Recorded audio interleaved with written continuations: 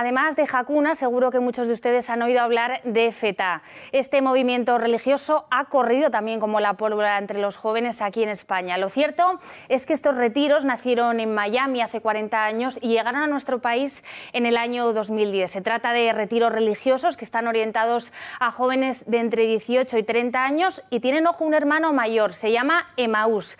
Estos retiros han congregado a personajes públicos tan conocidos como Tamara Falcó, como Isabel Sartori o como el padre de Diana Kerr, Juan Carlos Kerr. Lo más curioso de todo ello, que no acaba de despistar a más de uno, es que en estos retiros todo lo que pasa no se puede contar, o casi todo. Muy buenas noches, Sofía Corrales, tú eres miembro de FETA, muchísimas gracias por acompañarnos esta noche. Muchas gracias, gracias a vosotros. Hay tres conceptos clave dentro del mundo FETA, las cartas, los caminantes y los servidores. Cuéntanos un poquito lo que puedas, qué significa cada uno de estos conceptos. Eso es lo que pueda. Eh, yo diría, eh, antes que nada, que el primer concepto clave de FETA es el amor. Si no, no tendría sentido esto que, estamos viviendo ¿no? y que FETA haya crecido tanto. Pero efectivamente eh, están los servidores y, los caminantes. ¿no? Los caminantes son esas personas que no han hecho FETA y, y, que bueno, pues ese fin de semana ¿no? pues van a ir a, a, esa casa durante 48 horas a vivir y a descubrir lo que realmente pasa en estos días. ¿no? y solamente lo hacen una vez como caminantes. ¿no?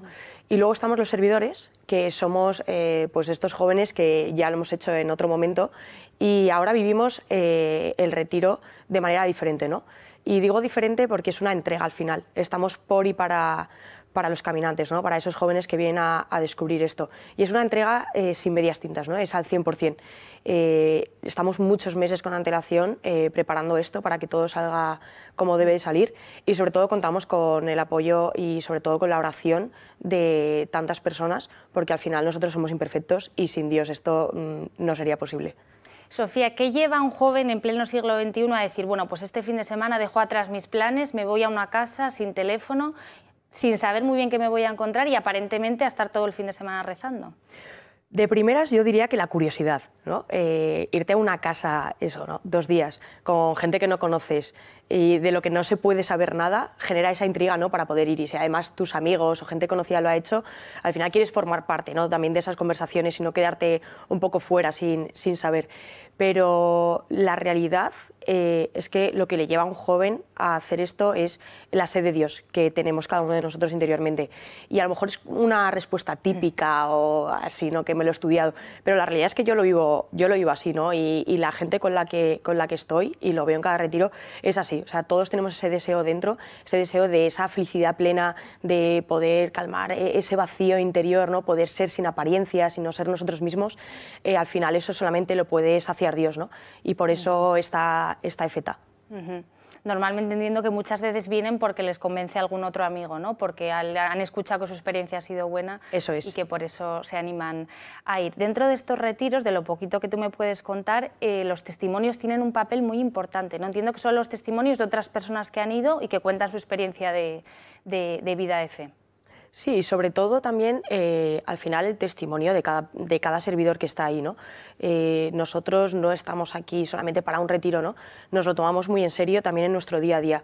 Al final eh, las palabras se las puede llevar el viento, lo que cala realmente y lo que convence es el ejemplo. ¿no? Y por eso están estos testimonios y sobre todo el de, el de todas las personas que estamos ahí, ¿no?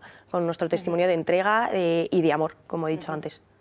Efeta, que no es una palabra cogida al azar, sino que es una palabra que aparece en un episodio de la Biblia en el que Jesús devuelve el oído y el habla a una persona sordomuda, ¿no? un milagro. ¿Son milagros los que se producen ahí en Efeta? ¿Vosotros habéis vivido grandes experiencias de conversión o habéis visto a gente que va con, con muchísimo dolor y que efectivamente se sana? Porque imagino que habrá muchos casos como estos, ¿no? Sí, eh, por supuesto, esto está en el Evangelio de Marcos 7:31 y la verdad es que hemos visto muchos milagros. Yo personalmente he visto muchos y seguro que muchos menos de los que han ocurrido. Al final los milagros no son solamente grandes cosas, ¿no? que una persona empiece a caminar o que se cure una enfermedad, sino que los milagros son, eh, están en nuestro día a día y son muchas veces tan pequeños pero tan grandes a la vez. ¿no?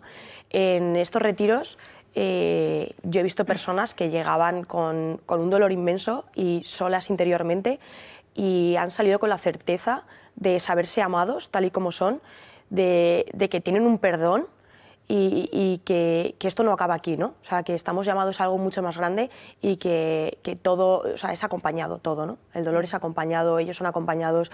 He visto gente sonreír que hacía mucho que no sonreía, he visto el perdón entre, entre padres e hijos, entre familias, eh, es, es increíble. ¿Cuál es el significado, Sofía, de guardar en secreto todo lo que sucede durante esos tres días? Yo más que secreto eh, lo llamaría confidencialidad. ¿no? Al final, si yo te cuento eh, lo que va a pasar, eh, te puedo generar cierta expectativa ¿no? y puedes ir condicionado a algo que igual luego no se cumple. ¿no? Cada uno somos únicos y, Dios nos ha creado únicos y, vivimos las cosas de, manera única, ¿no? aun siendo todo aparentemente igual.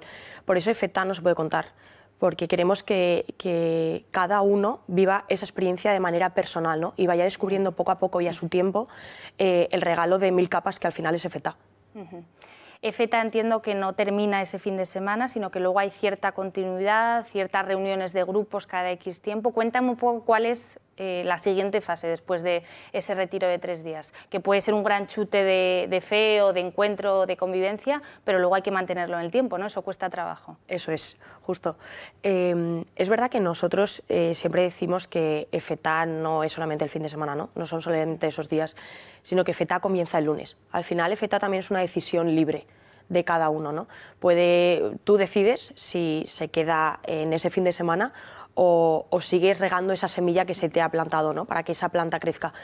Entonces, FETA comienza el lunes. Tú vuelves después de esos dos días a casa y tu vida sigue exactamente igual. O sea, con tu trabajo, la universidad, en casa, los problemas, las alegrías. Eh, entonces, cada semana nos reunimos semanalmente, efectivamente, porque al final la fe tampoco se puede vivir solo. ¿No? y necesitamos de, de los demás. Y, luego también hacemos muchos planes juntos. O sea, somos jóvenes del siglo XXI que, pues, igual que vamos a misa, nos vamos de cervezas, eh, hacemos torneos de pádel, nos vamos a la montaña, salimos de fiesta. Eh, simplemente que es verdad que hemos entendido que estamos aquí para algo mucho más grande. ¿no? Eh, lo primero de todo, para ser testigos del amor de Dios y compartirlo allí donde estemos.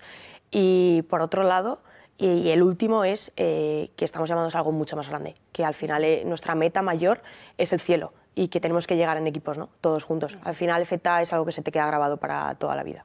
A ti, Sofía, y esta es ya la última pregunta, ¿cómo te ha cambiado personalmente o por qué recomendarías, dirías, a mí me ha pasado esto, te recomiendo encarecidamente que hagas este retiro? Pues muy buena pregunta. A mí es verdad que FETA no me gusta decirlo que, que te cambia la vida, o sea, mi vida sigue exactamente igual, simplemente me cambia la forma de ver la vida, ¿no? Y a mí es lo que me pasó.